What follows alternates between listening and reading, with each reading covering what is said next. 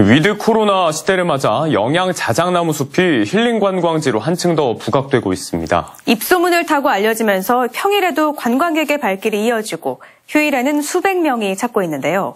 영양군은 주차장을 넓히고 전기차도 도입할 계획입니다. 이호영 기자입니다. 하얀 자작나무 줄기가 하늘을 찌를 듯 곧게 뻗어 있습니다. 잎이 무성했던 여름철과 달리 잎이 떨어지고 누렇게 변하면서 파란 하늘과 대조를 이룹니다.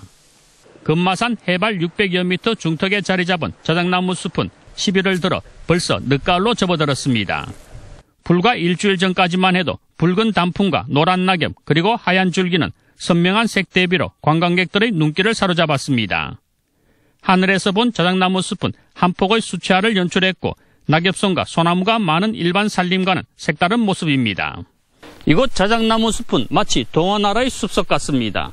겨울 채비에 들어가면서 자작나무의 흰 줄기와 낙엽, 붉은 단풍이 조화를 이루고 있습니다. 입소문을 따라 깊은 산속까지 찾은 도시민들은 이색적인 모습에 코로나19 장기화로 지치고 힘들었던 몸과 마음을 달래기에 충분했습니다.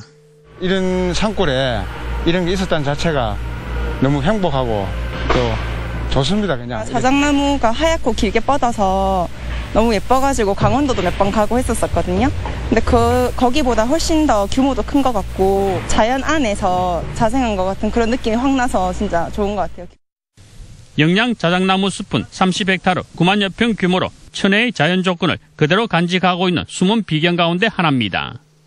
영양군은 with 코로나 시대를 맞아 관광객 편의를 위해 자연을 해치지 않는 범위 안에서 개발을 최소화하기로 했습니다.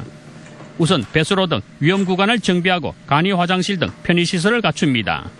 또 죽파리 입구부터 자작나무 숲까지 4km 구간에 전기차 셔틀버스를 도입합니다. 아, with 코로나 시대를 맞이해서 아, 자작나무 숲을 생태 관광지로 육성을 해 오고 있습니다만 지금은 인프라가 부족합니다. 그래서 내년 초까지는 아, 인프라를 갖춰서 어, 관광에 불편이 없도록 어, 우리가 준비를 하도록 하겠습니다.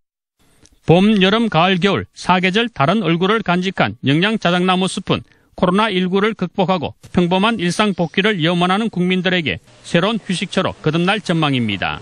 MBC 뉴스 이호영입니다.